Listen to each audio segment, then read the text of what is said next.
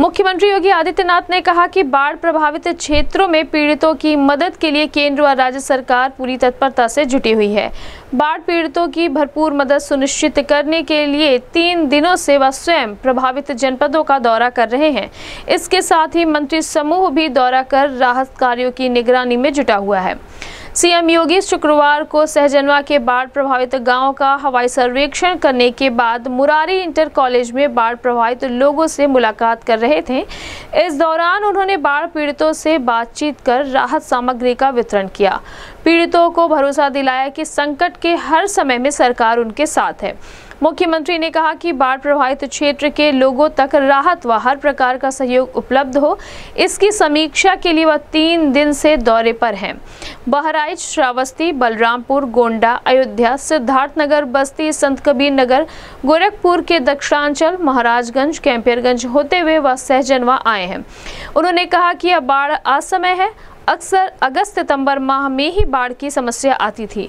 पहली बार अक्टूबर में बाढ़ की त्रासदी झेलनी पड़ रही है। इससे जनजीवन तो प्रभावित हुआ ही है। बाढ़ और अतिवृष्टि से फ़सलों को भी काफ़ी नुकसान पहुँचा है।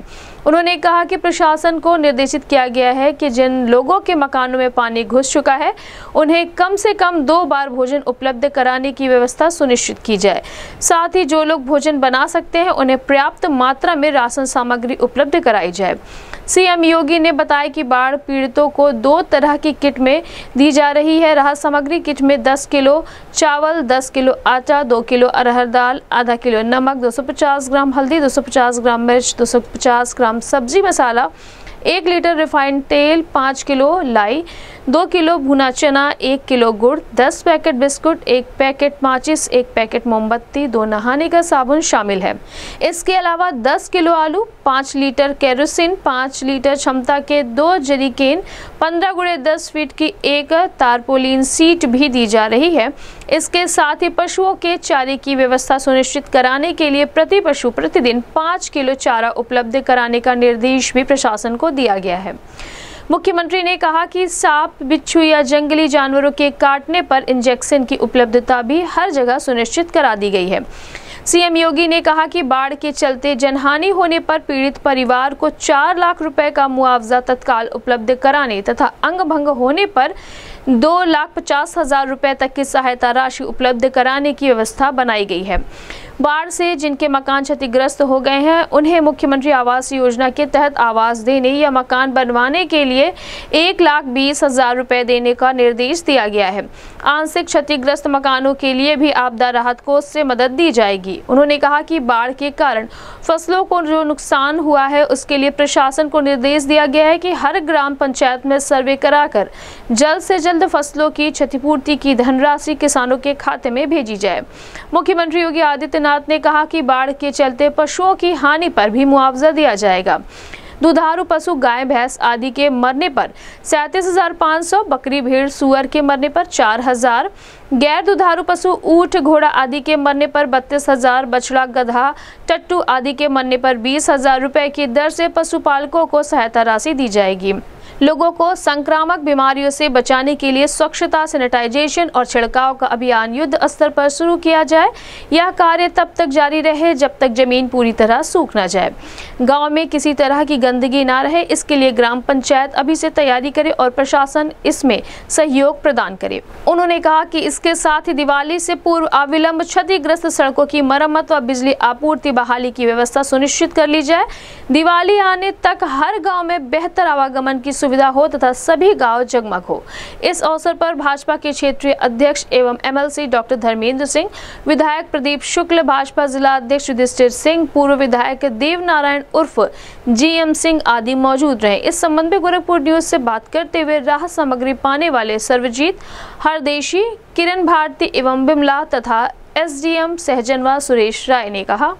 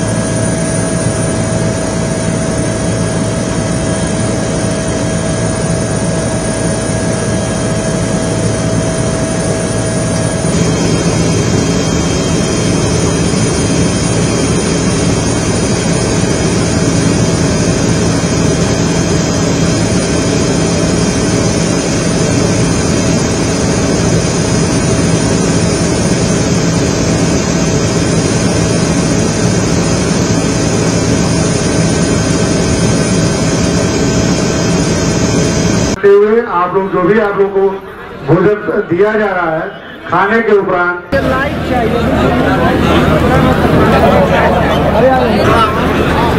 है कौन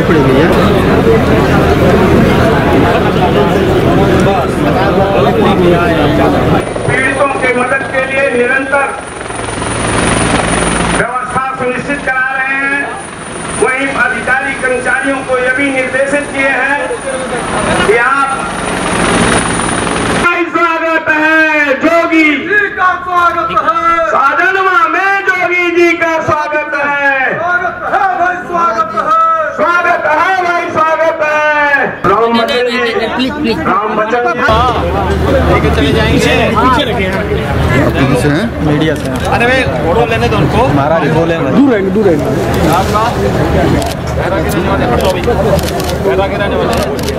कैमरा आप कैसे जाएँगे? गाड़ी का ना गाड़ी है। देंगे।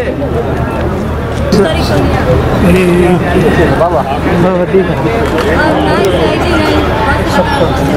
अंदर नहीं जाता। अभी यहीं से कर लो।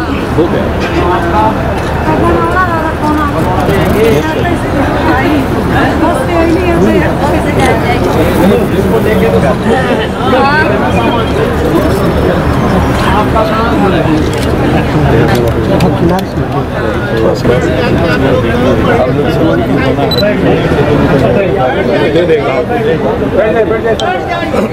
चलिए सर हम सबके बीच में उत्तर प्रदेश के यशस्वी मुख्यमंत्री जाकर के उनका परिचय और सामग्री। गोलियाँ से। लो भाई, उसके लिए कुछ है? लो भाई। लो भाई, देखो देखो देखो देखो। आओगे? पीछे से हैं? देखो। लो भाई। हेलो। लो।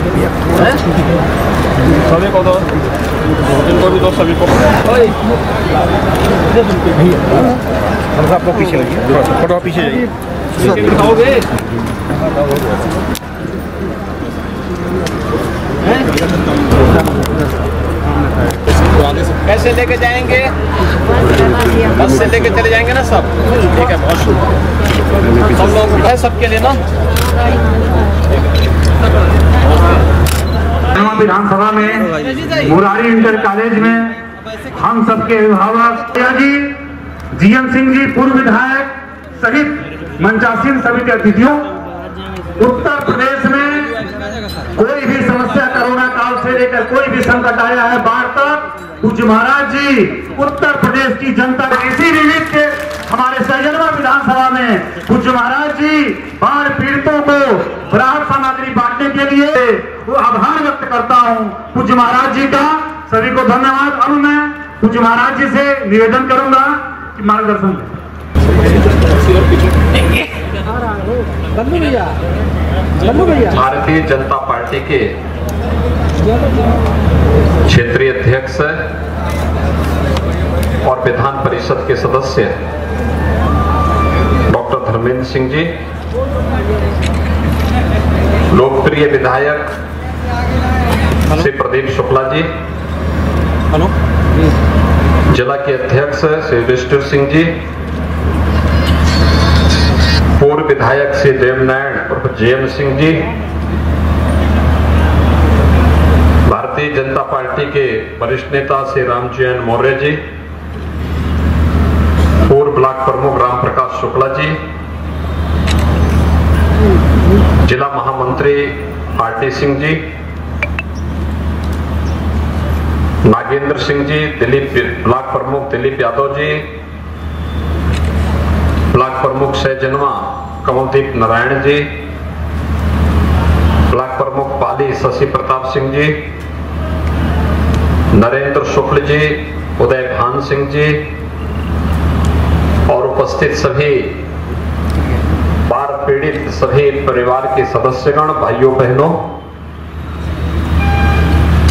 मैं पिछले तीन दिनों से प्रदेश के बाढ़ प्रभावित क्षेत्रों का ही दौरा कर रहा हूँ। बहराइच, श्रावस्ती, बलरामपुर, गोंडा, अयोध्या, सिद्धार्थनगर संत कवि नगर बस्ती और गोरखपुर के दक्षिणांचल के दौरे के बाद आज मैंने महाराजगंज कैंपियरगंज के बाद अब मैं सहजनवा में आया हूँ। और समय बाढ़ है। इस समय बाढ़ के लिए नहीं था। अक्सर अगस्त और सितंबर माह में ही बाढ़ आती थी। पहली बार अक्टूबर महीने में भी बाढ़ की इस त्रासदी को झेलने के लिए हम सबको मजबूर होना पड़ा है। न केवल जनजीवन प्रभावित हुआ है, बल्कि बाढ़ के कारण फ़सलों को भी भारी नुकसान हुआ है। अतिवृष्टि के कारण भी भारी नुकसान हुआ है और उन सब का सर्वेक्षण करने, पीड़ितों को तत्काल राहत सामग्री वितरण करने और प्रत्येक जगह समीक्षा के दृश्य में स्वयं भी जा रहा हूँ। हर प्रभावित क्षेत्रों में हमारे मंत्री समूह भी दौरा कर रहे हैं, राहत कार्य की निगरानी कर रहे हैं। हमने पहले कह रखा है कि जिन घरों में पानी घुस चुका है, भोजन नहीं बना सकते, वहाँ पर तत्काल उन सभी परिवारों को एक व्यवस्था दी जाए कि वहाँ पर भोजन की उनको दो समय भोजन मिल सके। रहने की व्यवस्था हो सके, स्वास्थ्य की परीक्षण की व्यवस्था हो सके, पशुओं के चारे के लिए प्रतिदिन प्रत्येक पशु को दो, पाँच किलो कम से कम चारा उपलब्ध हो सके, ये व्यवस्था तो करनी ही है। साथ साथ जहाँ पर लोग अपने घरों में भोजन बना सकते हैं, वहाँ पर उन सभी परिवारों को 10 किलो चावल 10 किलो आटा 10 किलो आलू 5 किलो लाई, दो किलो सूखा चना और दो किलो अरहर की दाल रिफाइंड तेल, नमक, मिर्च, मसाले, केरोसिन समेत घर की सभी प्रकार की उन आवश्यकताओं के लिए आवश्यक सामग्री उपलब्ध करवाएँ। इसके साथ ही जिन लोगों के मकान क्षतिग्रस्त हो गए हैं उन लोगों को अगर मकान पूरी तरह क्षतिग्रस्त हो गया है तो उन्हें मुख्यमंत्री आवास योजना में एक लाख बीस हज़ार रुपए की सहायता, आंशिक रूप से हुआ है तो उसे भी उसी प्रकार की सहायता आपदा राहत कोष से तत्काल उपलब्ध करवाने के निर्देश दिए गए हैं। इसके साथ ही यह भी व्यवस्था बनाई गई है कि प्रत्येक उन सभी परिवारों को जो अगर किसी परिवार में आपदा के कारण कोई जनहानि हुई हो तो चार लाख रुपए की सहायता उस परिवार को तत्काल उपलब्ध करवाएँ। कोई अंग भंग हुआ है तो पिछहत्तर हज़ार से ढाई लाख रुपए तक की सहायता भी उसे उपलब्ध करवाने के निर्देश दिए गए हैं। पशु हानि पर भी दुधारू पशु है, गाय, भैंस तो उस पर सैतीस हज़ार पाँच सौ तक भेड़ बकरी आदि के लिए बत्तीस हज़ार तक, अन्य पशुओं के लिए भी इसी प्रकार की सुविधा की व्यवस्था की गई है कि इनकी हानि होती है तो उसके लिए भी तत्काल सहायता उपलब्ध कराएँ। सांप के काटने, बिच्छू के काटने, जंगली जानवरों के द्वारा भी नुकसान पहुँचाने की शिकायतें आती हैं। वहाँ पर उसके इंजेक्शन के साथ ही अन्य सामग्री भी उन्हें उपलब्ध कराए जा सके, ये भी व्यवस्था हर एक जगह उपलब्ध कराई गई है। और फ़सलों के जो नुकसान हुआ है, अतिवृष्टि के कारण, उसका सर्वेक्षण के भी निर्देश दिए गए हैं, जिससे प्रत्येक परिवार को, जो भी किसान है, उनको हम इसकी सहायता उपलब्ध करवा सकें। आज के दिन पर मैं आप सबके प्रति आपको आश्वस्त करने के लिए आया हूँ कि सरकार केंद्र और राज्य सरकार आपके साथ में है। आपको हर संभव सहयोग करेगी। हम सबको भी ध्यान रखना होगा। बाढ़ का पानी अगले दो, दो तीन दिन के अंदर निकल जाएगा। उसके बाद हमें स्वच्छता पर ध्यान देना होगा। साफ़ सफ़ाई स्वच्छता सैनिटाइजेशन छिड़काव व्यापक पैमाने पे करना होगा। जब तक कि ज़मीन पूरी तरह सूख न जाए। क्योंकि बीमारी का खतरा बना रहेगा। और इसलिए दीपावली के पहले पहले हम स्वच्छता पर विशेष ध्यान देते थे। पहले होता था, दीपावली के अवसर पर रंगाई पोताई का कार्य होता था। गंदगी दूर भगाई जाती थी, फिर घरों में दीपोत्सव होता था। हमें उसी प्रक्रिया को आगे बढ़ाना पड़ेगा। साफ़ सफ़ाई की व्यवस्था, गाँवों में भी, घर में भी, हर जगह गाँव में कहीं भी गंदगी न रहे, इसके लिए ग्राम पंचायत तैयारी करे, प्रशासन भी उसमें सहयोग करे। स्वच्छता का है, छिड़काव का है सैनिटाइजेशन का है, इस कार्य को युद्ध स्तर पर करते हुए, जो सड़कें टूट गई हैं, लोक निर्माण विभाग, ग्राम पंचायत या संबंधित संस्थाएँ, अविलंब उन सड़कों के निर्माण के कार्य को भी आगे बढ़ा दें, जिससे दीपावली के पहले लोगों के लिए बेहतर आवागमन की सुविधा हो। जिन गाँवों में बिजली बाधित हो गई, वहाँ बिजली बहाल करने की व्यवस्था हो, जिससे लोगों को बिजली दीपावली के अवसर पर गाँव जगमगाता हुआ दिखाई दे। और इन्हीं सब बातों के लिए आश्वासन देने के लिए आज मैं आपके पास आया हूँ कि सरकार आपदा के समय में आपके साथ में है। आपको हर संभव भरपूर मदद करेगी। धन्यवाद। जय हिंद।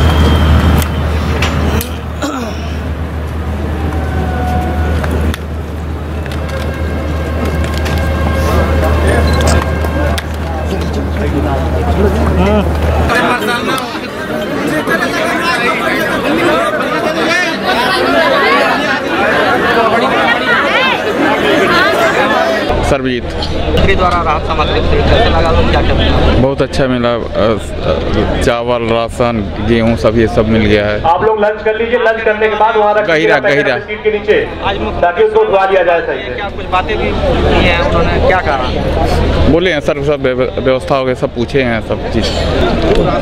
हर देसी। स्वयं बात की है क्या बोला? है हाँ सब सामान मिल गया। कैसा लग रहा है? सरकार नहीं ठीक लग रहा। किरण भारती। उत्तरी कुलियाँ। मंत्री स्वयं राहत सामग्री का आप लोगों ने वितरण किया है कैसा लग रहा है? बहुत अच्छा लग रहा है। बातें भी की हैं? हाँ बात किए हैं। चॉकलेट भी दी चॉकलेट खिलाए हैं अपने हाथ से। है बहुत अच्छा लग रहा है। हाँ बहुत अच्छा लग रहा है। विमला। के द्वारा राहत सामग्री वितरण किया है मिला है। है, बोले हैं। बोल हैं, आपकी व्यवस्था है गाड़ी से ले जाने के लिए सामान। बोले हाँ। अच्छा लग रहा है। माननीय मुख्यमंत्री जी की उपस्थिति में कुल 500 लोगों को राहत किट बांटा गया है। और माननीय मुख्यमंत्री जी ने लाइनों में घूम करके लोगों को, लोगों से बात भी किया। और सामान की क्वालिटी के बारे में भी पूछा है और उनको प्रशासन द्वारा दी गई सुविधाओं के बारे में भी जानने का प्रयास किया है और सब कुछ अच्छा मिला। हम लोगों का पूरा प्रयास है कि 16 गाँव, अरे 15 गाँव हमारे प्रभावित हैं, जिसमें आठ मैरूंड हैं। आठ मैरूंड में हम लोग राशन लगभग बांट चुके हैं। शेष गाँव में भी हम लोग दो दिन के अंदर संपूर्ण राशन वितरित कर देंगे।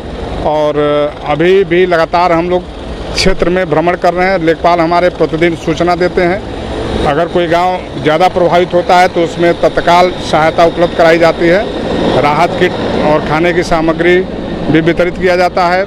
मेडिकल विभाग द्वारा प्रतिदिन गाँव, उन गाँवों में भ्रमण किया जा रहा है, मोबाइल वैन लेकर के।